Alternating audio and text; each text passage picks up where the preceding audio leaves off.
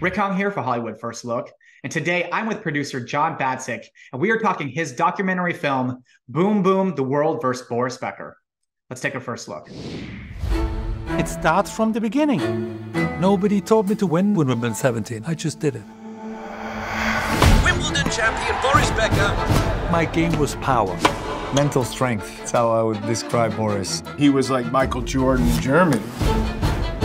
Expectations in tennis world. Becoming a superstar in sports. You're now a wanted man. To pick a black woman as his wife was a big deal. In the German press, it was a black and white thing.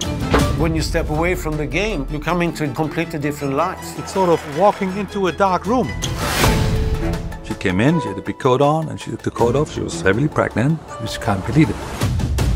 The wake up call came very late.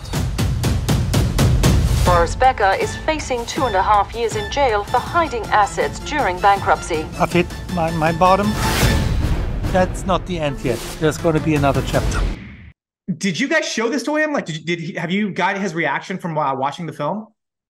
we showed him various cuts of the film as they were developing, you know, through the later stages of edit. And then he came to the premiere of the film at Berlin, at the Berlin Film Festival. So yeah, he's seen it. He's seen it all. And uh, you know, he's he's uh he stands shoulder to shoulder with us um, you know, promoting the film. I was wondering if it, for you it looked like, wow, he's aged a lot to me because of the stress, maybe, of the stress of the stuff that he was going to. And I don't know if you felt that way. Yeah, for sure. You know, and, and as you say, he he you know, in the last couple of years, he's had a very, very tough time fighting this, this, the whole bankruptcy issue, and I think that's t- taken its toll on him physically, or it took its toll on him physically. So yes, by the time we came to interview him again, which, which was a, a, only three days before he was sentenced in court, yeah, he had the weight of his of the world on his shoulders, and he, and he also you know, it, it, became very clear in our interview that he was that he understood that that that this was a this was a this was a you know a watershed moment for him, and it was highly likely to not go well, and and it showed in his physicality in his face, and and as it turned out, it showed in the interview because much to his surprise and to all of our surprise, he broke down in the in the interview in a way that I I could tell because of his reaction and his girlfriend who was who was not that was who was watching from from a, a, separate studio. I don't think boris had ever broken down in his whole life not on court or off court in the way he did in the middle of our interview.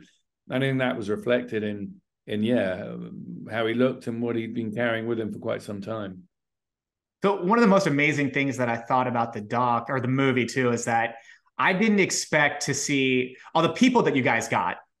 And so then i was so then i started thinking about who you guys didn't get, you know, in terms of, um, you know, because you talk about like the great opponents and there's like uh, Stefan Edberg and there's like Ivan Lendl and there's Agassi.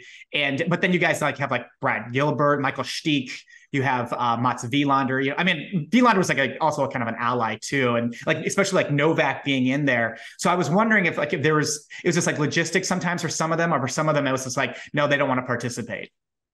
Well, first of all, most of the ones we got, we got thanks to Boris because Boris reached out to them, and you know they all love Boris, and so that's how we got Borg. That's how we got Mac. That's how we got Mats.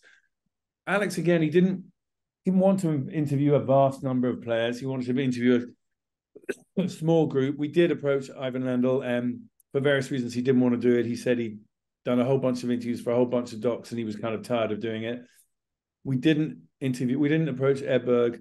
We we I think we tentatively reached out to Andre Agassi because, of course, it would have been great to have him. But Andre, I think everyone knows, is quite reticent about taking part in documentaries.